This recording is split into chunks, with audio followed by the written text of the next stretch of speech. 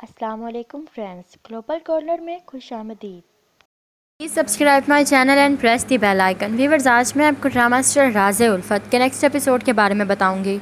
Next episode में आप देखेंगे कि मुश्क रात में सो नहीं पाती और वो इर्तज़ा की तरफ़ कॉल करती है, लेकिन इर्तज़ा उसकी कॉल अटेंड नहीं करता।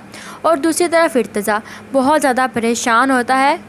और गुस्से में भी होता है कि मुश्क ने ना आकर अच्छा नहीं किया। सबके सामने उसकी इंसल्ट हो गई है, जिसके बाद दिखाया जाता है कि मुश्क की बाप की हालत बहुत ख़राब हो जाती है तो उसको लेकर हॉस्पिटल जाया जाता है और मुश्क बहुत ज़्यादा परेशान होती है कि कहीं उसकी बदतमीज़ी की वजह से तो ये सब कुछ नहीं हो गया। जिसके बाद दिखाया जाता है कि नोमी और इर्तज़ा का आमना सामना होता है तो नोमी मुश्क के बारे में गलत कहता है, जिस पर इर्तज़ा को गुस्सा आ जाता है। तो वीवर्स आप लोगों को क्या लगता है कि नेक्स्ट इस ड्रामे में कौन सा ट्विस्ट आने वाला है? और आपको इस ड्रामे में सबसे अच्छी एक्टिंग किस एक्टर की लगती है? अपनी कीमती राय का इजहार कमेंट सेक्शन में ज़रूर कीजिएगा। हमारी वीडियो पसंद आए तो लाइक करें और हमारे चैनल को सब्सक्राइब करें। Thank you